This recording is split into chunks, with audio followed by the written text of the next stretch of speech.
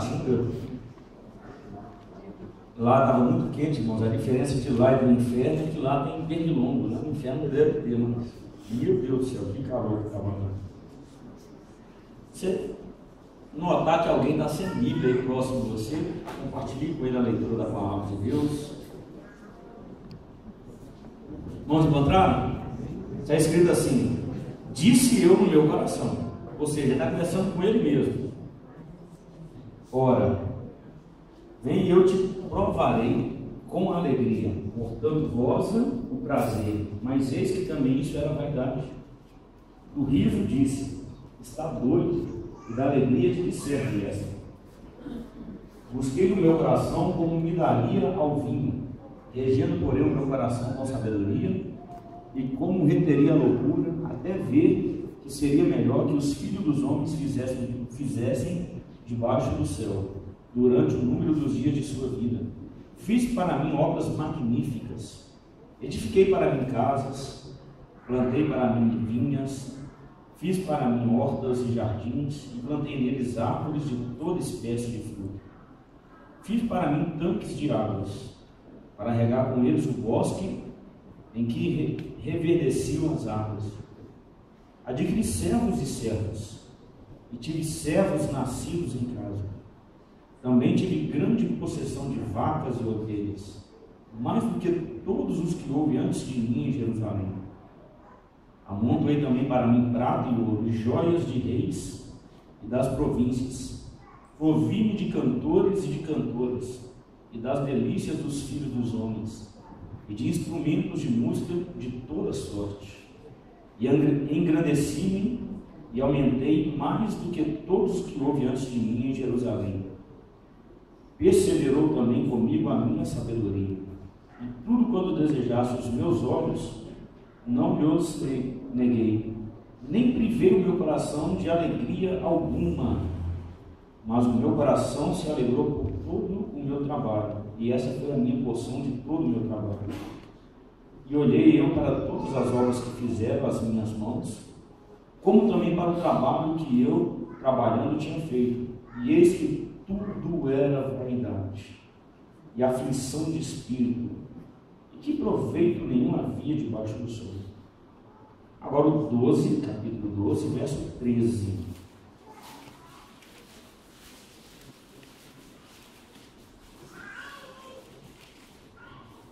Que já no finalzinho da vida,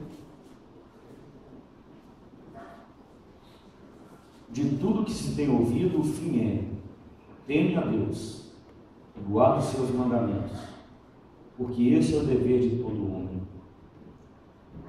Deus, a tua palavra foi lida. Pedimos a Deus que ela seja aplicada de forma inerrante, de forma prática, de forma dinâmica, na congregação e no coração de um. Nós pedimos ao Senhor em nome de Jesus Cristo.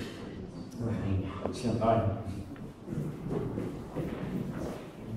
O Salomão escreveu três livros: Provérbios, Eclesiastes e Cantares. Alguns teólogos afirmam que na sua juventude, 20 anos em diante, ele escreveu o livro de Cantares. Na sua maturidade, vindo o tempo, escreveu o livro de Provérbios. E com o tempo, na sua maturidade, podemos dizer, quase plena, ele escreveu o livro de Eclesiastes. Um livro meio para baixo, se nós formos olhar. Ele vai dizer que tudo é vaidade. Mas ele conclui no final que o temor a Deus é, nossa alegria, é o final de todas as coisas. Salomão foi o homem mais rico da sua geração, eu arriscaria dizer de todo mundo, presente, passado e futuro. Sua fama era notória, seu poder era colossal, seu reino era esplêndido. Ele era filho do grande rei Davi, com Betseba, a mulher, ex-mulher de Urias, a qual ele mandou matar. Seu nome significa pacífico. Só que o profeta Natan vai chamá-lo de Gededias, que significa amado de Jeová. Então, além de jovem, rico, era um homem que era amado por Deus. Começou a reinar com 20 anos de idade.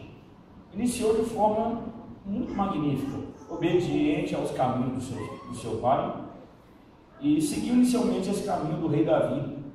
Recebeu de Deus uma grande, um grande presente, a sabedoria notória, muito grande, de onde vinham muitas pessoas da parte do mundo para ver e ouvir da sua sabedoria. Assim Salomão começou o seu reinado, julgando seu povo com luz divina.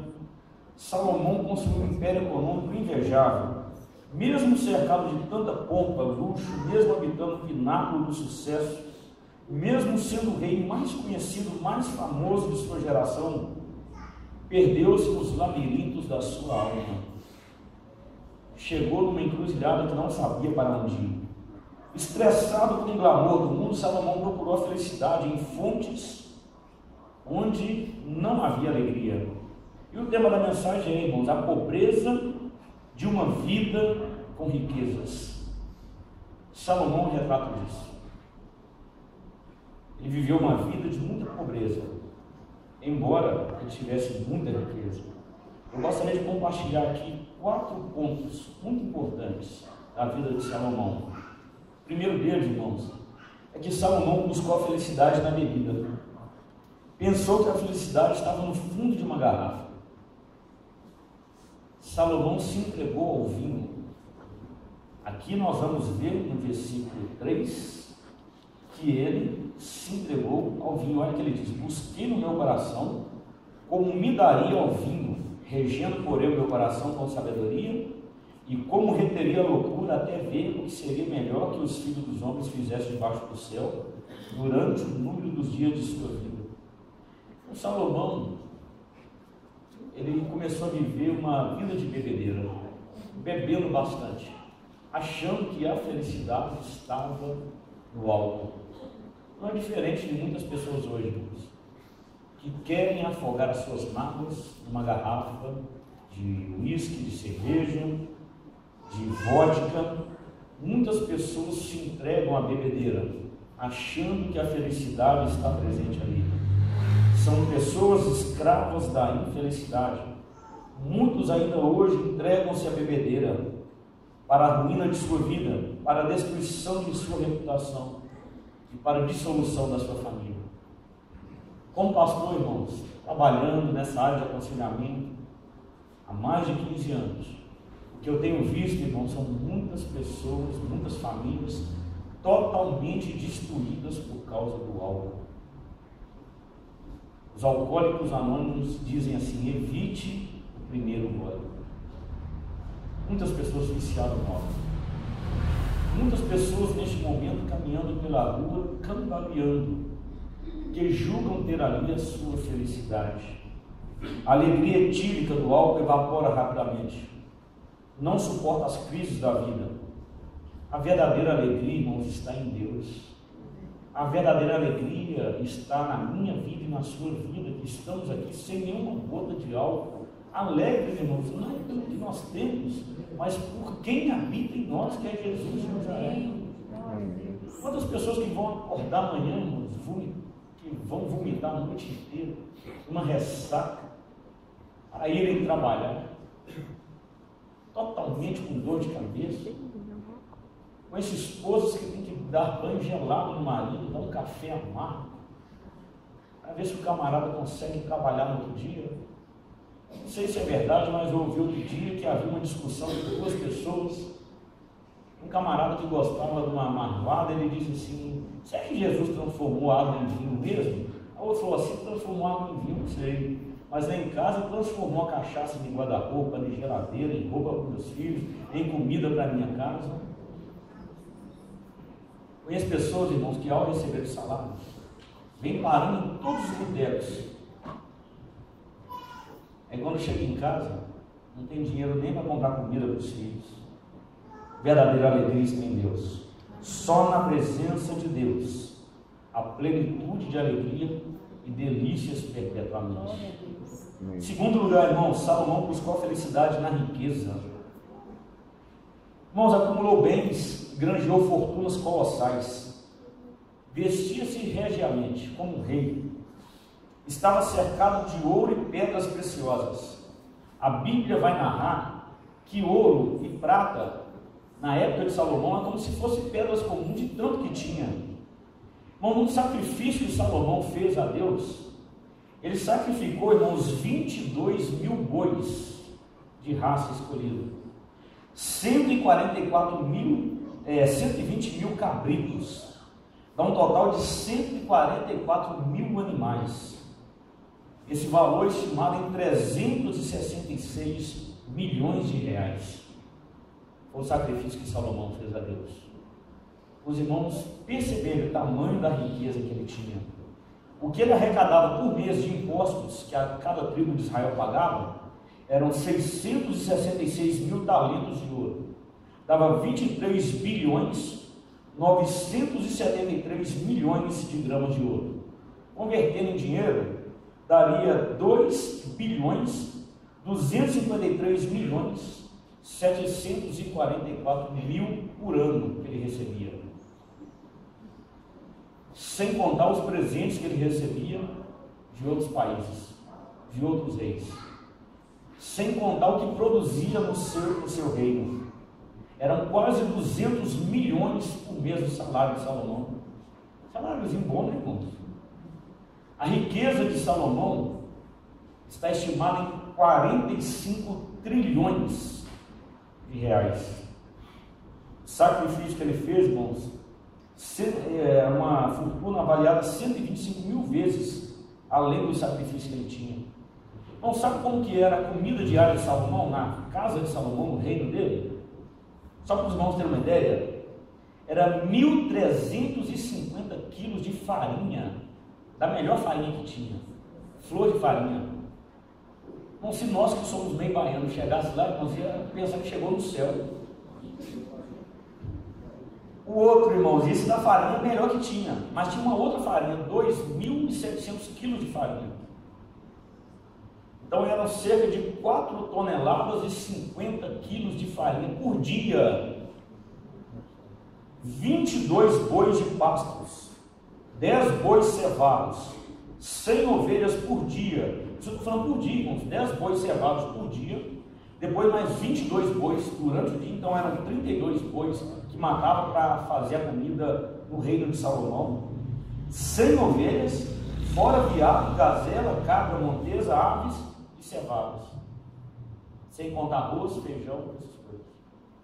Essa, esse era o banquete diário de Salomão irmãos entenderem, ter uma noção de como Salomão era rico. As riquezas, irmãos, ainda hoje têm sido alvo de muita gente. Muitas pessoas vivem, não só no sistema econômico capitalista e um contexto cultural, social plenamente consumista. A obtenção de riqueza tem sido, irmãos, é, traduzido como alvo na vida e, na, e como alvo de realização de muitas pessoas. Muitos pensam que ao atingir uma certa independência financeira, ao montar o seu império econômico, a felicidade, a satisfação e o sentido da vida fluirão de forma natural em sua existência, trazendo paz no seu coração conturbado. É o pensamento, irmãos, de que quanto mais se tem bens e riquezas, mais se é algo na vida, ou se é alguém na vida. Vemos o aumento, irmãos, a cada dia da violência, dos assaltos, sequestros, roubos, extorsões, golpes, negociadas, trapaços, sonegações. Tudo isso aumenta, irmãos. Tudo isso geralmente em busca de riquezas. Pessoas buscando ter mais bens. Segunda-feira Passado, eu saí da casa lá do Itamar, estava visitando a Miriam e o. E ao chegar aqui na São João da Serra, irmão Joaquim, na Dinamarca, estava até lá, porque a menina começou a gritar muito. A menina acabando de ser roubada. Mais uma moto. Levaram o celular dela, a chave da casa, levaram sua carteira, cartão de crédito, dinheiro. Colocamos ela dentro do carro, estava eu e minha esposa, levamos lá na delegacia para fazer um boletim de ocorrência, acompanhamos todo o processo. O policial o sargento que estava lá falou assim, olha, nós que somos de bem, devemos ser como galinha. Deu seis, oito horas no máximo, nós devemos estar dormindo. Aí me mostrou o tanto de ocorrência que tinha, irmãos. Tudo isso aumentando em busca de se ter mais, irmãos. Está chegando a época de eleição. Os irmãos vão ver o tanto de candidato que aparece dando paz do Senhor, irmãos. Se deixar um pouquinho, fala bem línguas e entrega profecia. Depois a gente nem vê a cara desses camaradas aqui. Um bando de picareta. Que deturpa o dinheiro, o direito dos pobres. Não tenho nada contra o político, nada. Eu acredito que Deus usa, que Deus levanta algumas pessoas para estar no lado. Não sou preconceituoso. Mas eu entendo que o cristão que vai para ler tem que fazer a diferença. Tem que fazer a diferença onde ele estiver. Pior de tudo, irmãos, é que essas pessoas nunca se satisfazem com o que conseguem acumular, sempre querem mais. É a pobreza de uma vida com riquezas. Mas o brilho da riqueza, irmãos, ela passa, não passa de uma bolha de sabão. Tem muito colorido, mas nenhuma consistência. Salomão, mesmo sendo rico o mais rico de todo mundo, não encontrou na riqueza a verdadeira felicidade. A riqueza material, irmãos, ainda hoje alavanca e move as pessoas e é o vetor que mais governa os corações. Os crentes avarentos, irmãos, que se converteram, mas o bolso não converte.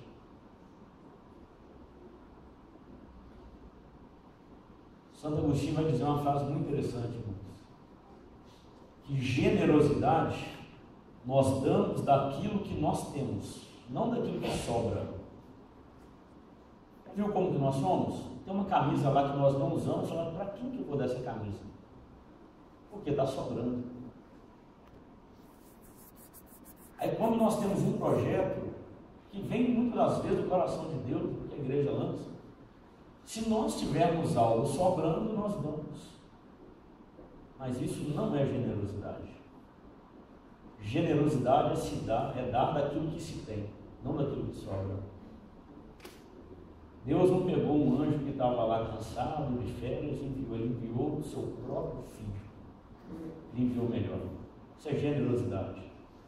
A Bíblia vai dizer que Deus prova o seu amor pelo fato de ter enviado Jesus, o seu único filho, e nós ainda sendo pecadores. Ele não foi lá na prateleira, pegou algo que ele não queria e nos enviou. Ele deu o seu melhor. Deus enviou Jesus de Nazaré, o seu único filho, o unigênito do Pai. Ele se doou. Ele foi generoso. Justiça, irmãos, é eu pagar aquilo que eu combinei. Se eu combino com uma pessoa para trabalhar para mim a 150 por dia, é justo que eu pague a pessoa. Mas às vezes a pessoa pode fazer um serviço muito bom. E eu quero ser generoso. Então eu pratico a justiça, eu pago 150 que eu combinei, e dou algo além, porque eu quero ser generoso para essa pessoa. A igreja, irmãos, é local de generosidade, de sermos generosos. Pastor Jorge Linhares, irmãos, ele disse que uma vez ele fez a fogueira do amor lá na Getsemane. Aí apareceu, irmãos, lá ventilador sem hélice, o pessoal do outro. Sandália Havaianas arrebentado. Teve um par lá que era dois no pé esquerdo. Aí quando viram uma camisa, opa, uma camisa de seda, aí quando foram olhar, irmãos, tinha uma marca de ferro nela. Falou, isso aqui não dá para doar para ninguém. Aí diz que fez a fogueira da miséria. Aí ele chegou no domingo à noite e falou, irmãos, quem doou esse ventilador sem hélice pode vir buscar, isso aqui não serve para ninguém. Quem doou essa camisa aqui com uma marca de ferro pode vir buscar, isso aqui não serve para ninguém. Aí na igreja, não só assim, misericórdia, está amarrado em nome de Jesus. Não apareceu o dono, irmão. É aquele tal filho feio não tem pai. Não apareceu ninguém, irmãos. A não ser que o curupira, irmãos. Ressuscitado, ele podia dar um chinelo daquele camarada. Aí na outra semana ele propôs de novo fazer a fogueira do amor. Aí o pessoal entendeu. Igreja, irmãos, é lugar de generosidade. Graças a Deus, irmãos. Não é gostoso receber cesta básica, mas quando a pessoa passa por um momento de dificuldade, o diaconato dessa igreja envia do melhor. Envia o melhor que tem, irmãos. Chamando aqueles arroz quebradinhos, para pintinho comer. Feijão bandinha. A gente envia do melhor. Aquele café que você coloca um quilo para fazer 250 ml de café. A gente envia do melhor. Quando vai sabão, sabão ruim. Igreja é local de generosidade. Dinheiro aqui anda no nosso bolso, não no nosso coração. Aqui nessa igreja ele é um ótimo empregado, um péssimo patrão. Então tem muitas pessoas que nem se convertem, irmãos, porque falam assim, ah, agora vou ter que contribuir. Não. Tudo que eu tenho que você tem já é de Deus. Não contribui para nada não, já é dele. Você só descobriu isso ainda. Um dia você vai prestar conta de tudo que nós temos. Quantos relacionamentos, irmãos, que são sacrificados por causa do dinheiro? Parece que no dia do casamento falou assim, até que a dificuldade financeira vos separe. A dificuldade financeira entra pela porta, o amor sai pela janela. Quantas injustiças são feitas, irmãos? Patrões que mandam funcionário embora, irmãos, e não pagam seus direitos. Meio de crente, irmãos.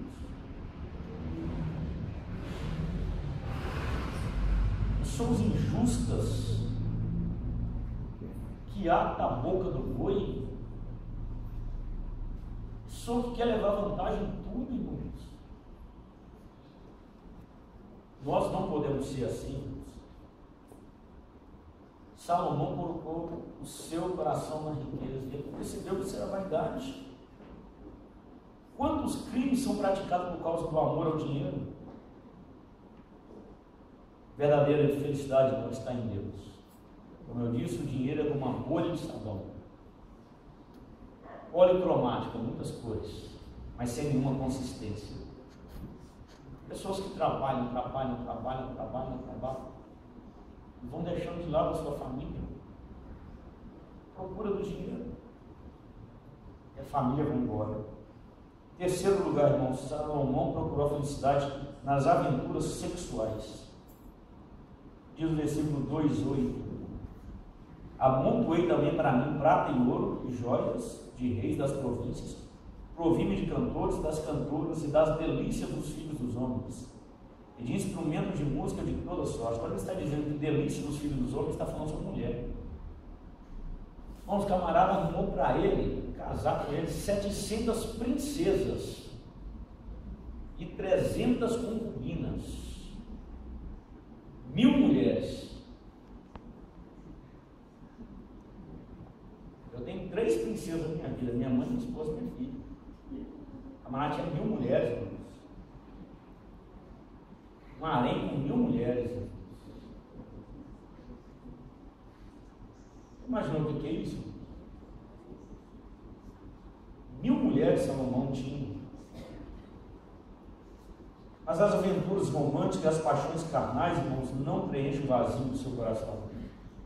Vivemos numa sociedade, sociedade totalmente erotizada, irmãos. Quantas pessoas, irmãos, homens casados, envolvendo com travestis? Meu Deus, meu Deus. A maioria, irmãos, das ocorrências policiais com travestis é com homens casados.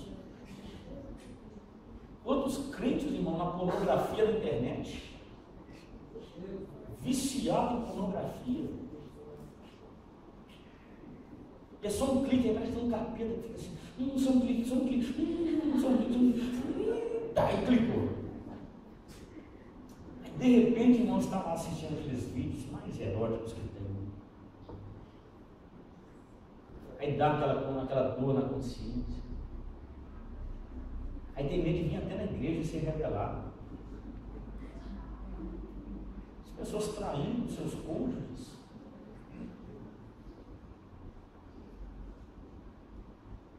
Jovens que se masturbam. Aventuras extras conjugais no seu serviço. E a maioria, irmãos, eu tenho visto isso muito, a maioria, irmãos, é pego de mensagem no telefone, no WhatsApp. A mulher vê lá o celular assim, irmão, não sei se é o capeta que fala, se é Deus que mostra. Não, vou ver. Aí abre lá, meu querido, estou com saudade, ontem à noite foi demais. Mas está o nome de um homem, Roberto. Fala, meu marido é dele. Mas vai olhar, irmãos, está na foto, é uma mulher, a Roberta. As pessoas aí envolvidas com isso, irmãos. O sexo é vendido como um produto vital, irmãos, para a felicidade humana. A indústria pornográfica, irmãos, move bilhões e bilhões por ano. Quanto mais, irmãos, porém as pessoas se entregam a aventuras sexuais, mais infelizes, vazias se tornam. O sexo, irmãos, é bom, é puro, é deleitoso, mas só é legítimo, irmãos, quando ele é usufruído dentro de um contexto chamado matrimônio, casamento. Para quem é casado, um relacionamento sexual é culto ao Senhor. Para quem é legitimamente casado, o momento do ato sexual é culto ao Senhor. Por isso pode fazer vigília, não tem problema se você é casado. Dentre suas mil mulheres, Salomão não encontrou nenhuma sequer, porque a felicidade não está na multiplicidade dos passeios sexuais, mas na fidelidade de um casamento monogâmico. Em quarto lugar, irmãos, Salomão procurou a felicidade na fama. Tornou-se grande, sobrepujou-se todos seus antecessores. Várias vezes ele vai falar assim: Eu me tornei maior do que todos que vieram antes de mim. Abasteceu seu coração com tudo que seus olhos desejaram. Olha só, irmãos, ele está falando assim: Tudo que meus olhos desejaram, eu comprei, eu quis. Fui lá peguei. Porém, no final, reconheceu que todas essas coisas não passavam de vaidade. Irmãos, o que é prosperidade segundo a Bíblia? É ausência de necessidade. Quando Deus fez a humanidade, Deus criou um sistema, de forma que ninguém precisaria ter poupança. O projeto inicial de Deus é que quem tivesse muito dinheiro não lhe sobraria nada. E quem tivesse pouco dinheiro, nada lhe faltaria. Que as pessoas fossem generosas por si mesmas. Não tem nada a ver com comunismo, com marxismo. Isso é um projeto de Deus para uma grande família chamada humanidade, de forma que todos pudessem socorrer um ao outro. Então, irmãos, mas no final da sua vida, ele vai dizer que isso, tudo isso é vaidade. Multidões e multidões ainda hoje, irmãos, trafegam na passarela da fama sobre as luzes do palco. Chegam ao topo de suas realizações e conquistas. A maioria, irmão, desses cantores que vivem viram gospel porque quebraram lá no, no mundo secular da música. Aí vem cantar agora na igreja. Porque na igreja a pirataria é menor, não deveria ter nada, mas é menor, o pessoal é fiel, vai lá e CD original. Aí dá uns testemunhos na igreja. E a vida volta ao normal. Um cantor muito conhecido no gospel, hoje eu não vou falar nome nem nada, estou bonzinho. Tom Light. Uma entrevista ele disse que o que ele poderia fazer para o mundo gospel ele já fez. Que agora ele vai cantar música que não fala nada de Deus, de Jesus, nem fala da vida. Cobrava 70 mil por show. Não precisa mais de dinheiro. No momento do aperto, veio para Cristo fumando maconha, toda avacalhada, encontrado aquilo que chama achado. Todo noiado. É agora que amealhou um patrimônio colossal. Ele vai cantar agora música que se fala da vida. E eu não consigo enxergar minha vida sem Deus, nem sem Jesus. Tornaram-se famosos, irmãos.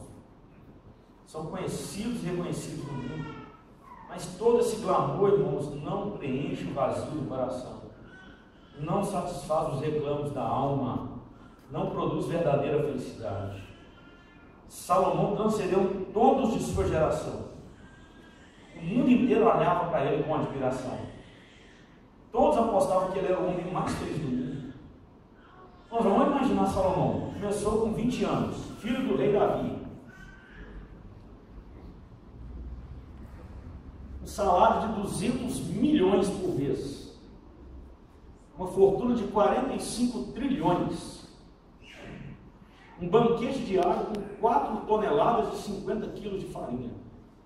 32 bois, 100 cabritos, mais as aves. Todos que olham, mil mulheres, 12 mil cavalos, cantores, teatro. Ele vai dizer que se proveu de servos. Ele tinha um camarada para amarrar o cadastro, seu sapato, tinha um para escovar os dentes, um para pentear o cabelo, um para fazer a um camarada tinha de tudo. Pomares. Todos que olhavam para ele falavam assim, olha que camarada feliz. Como eu gostaria de ser como esse camarada? Mas não sabiam que Salomão é um camarada infeliz. Porque, irmãos, a verdadeira felicidade só tem aqueles que têm Deus no coração. Que tem Cristo como estilo de vida. É por isso que muitas pessoas olham para mim, para você e não entendem. Sabe das dificuldades passando, das provações, das limitações, mas sempre nos vê felizes. Que a nossa felicidade consiste em termos Deus em nossa vida. Deus presente conosco. No final da sua vida, Salomão chegou à conclusão de que só o temor a Deus, irmãos, dá sentido à vida. Agostinho de Hipona disse que Deus nos criou para Ele, e somente na presença dEle encontraremos sentidos para a nossa vida. Ser uma pessoa feliz? Onde você tem buscado a sua felicidade? Talvez você é cristão, já aceitou Jesus, já batizou, está dentro da igreja, mas é uma pessoa deprimida, triste, não consegue romper com essa película de infelicidade e se apropriar da felicidade que Deus tem para nós. Gideão estava assim. Se você ler de uma forma cuidadosa o livro de Juízes, capítulo 6 e 7, você vai ver que os midianitas, que era filho de Abraão, porque tudo, durante sete anos invadia Israel e levava tudo que eles tinham. Tudo. Sete anos, irmão, eles plantavam, os midianitas iam lá e levavam. Aí criava boi, cabras, galinhas, aves, os midianitas iam lá, pegavam e levavam. Sete anos dessa forma. Trigo era algo muito caro na época. E Gideão estava no lagar. Lagar, irmãos, é local de fazer vinho. Não é local de malhar trigo. Ele estava lá escondidinho para manter o sustento da sua família. Malhando trigo. E aparece um anjo enviado pelo Senhor e diz: O Senhor é contigo, homem valoroso. E ele diz assim: Se o Senhor é comigo, que está acontecendo tudo isso comigo? E onde que fica as promessas dos nossos pais dizendo que com um braço poderoso tirou Israel do Egito? Servindo o Senhor. Mas com depressão muito grande, é claro que não existia na época o termo depressão, mas uma tristeza profunda. Quantas pessoas, irmãos, dentro da casa de Deus dessa forma? Dentro da casa de Deus, desse jeito. Se Deus é comigo, por que, que essa porta não se abre? Se Deus é comigo, por que, que meu filho, minha filha, meu pai, minha mãe está doente? Se Deus é comigo, por que, que eu estou passando por essa enfermidade? E Deus abençoou a vida de Gideão. Quando ele chama, tinha 32 mil pessoas. Depois ele vai lutar contra os midianitas com 300 homens. Para que ele entendesse que a vitória não veio pela força do braço dele, mas foi Deus quem deu.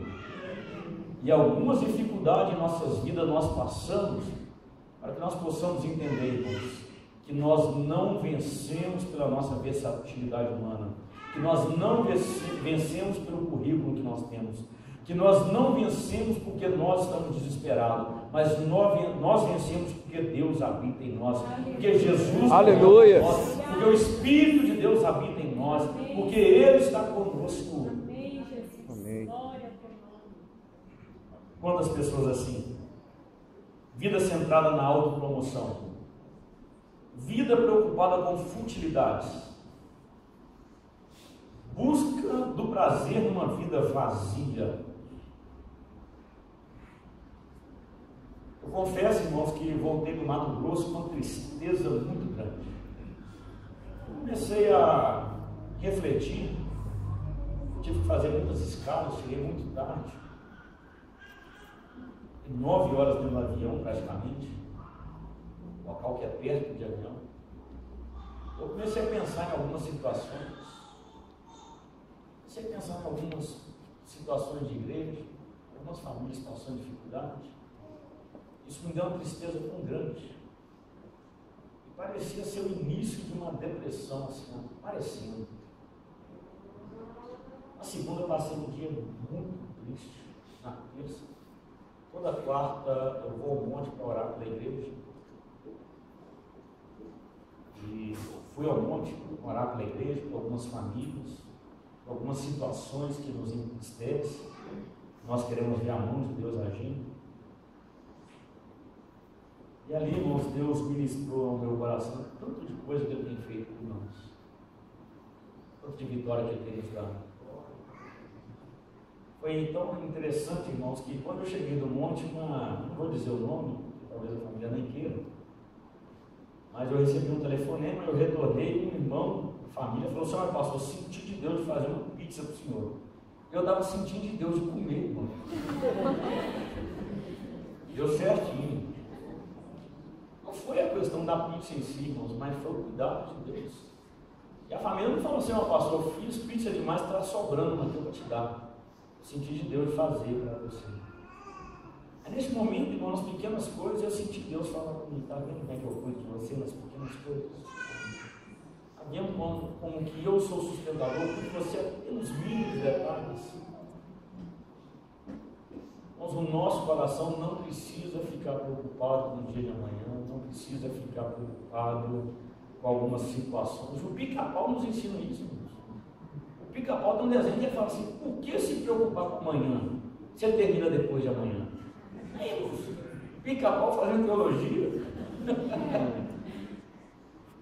Irmãos, eu quero te dizer que Deus você. Talvez você entrou aqui hoje triste, como eu fiquei na segunda e na terça. Talvez você está em busca da felicidade, não é o filme não, do Will Smith. Talvez você tenha procurado a felicidade em algumas igrejas, algumas pessoas que oram forte, que revelam. Talvez você tenha procurado a felicidade no seu marido, na sua esposa, no seu filho. Uma religião. Mas eu quero te dizer que Salomão disse que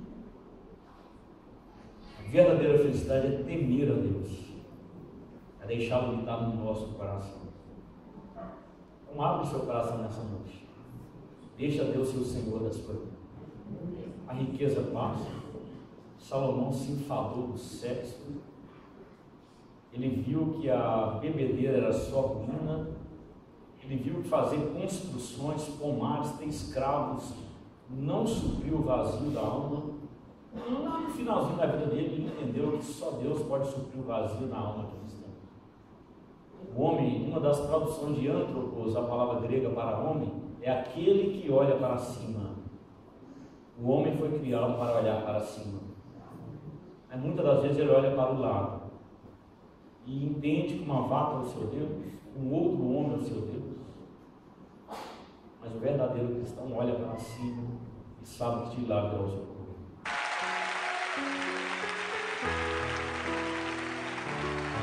Eu abro mão de tudo por ti, Deus. Eu abro mão da minha própria vida por ti, Senhor.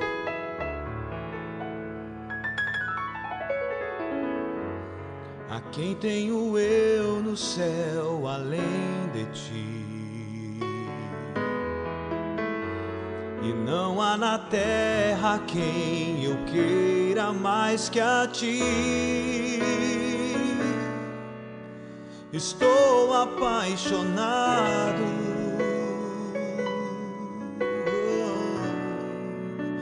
Desesperado de amor. Eu estou disposto a morrer por ti. E construirei no cume do monte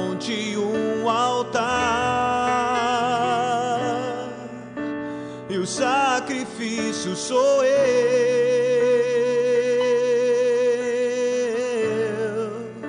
E o sacrifício sou eu.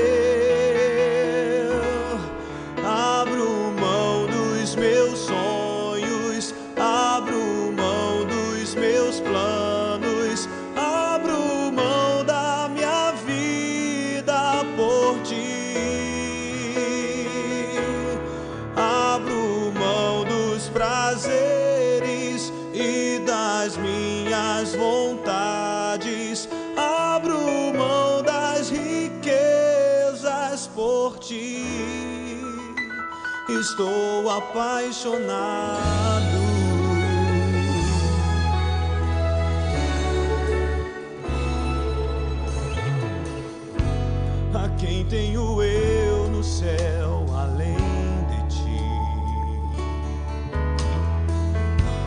E não há na terra quem eu queira mais que a ti.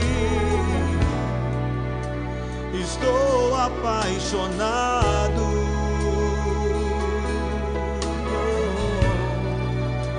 Desesperado de amor.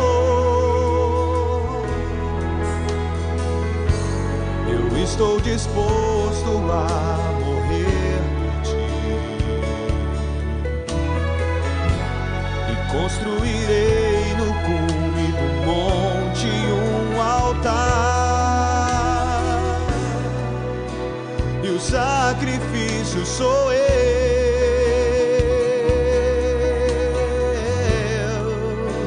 E o sacrifício sou eu.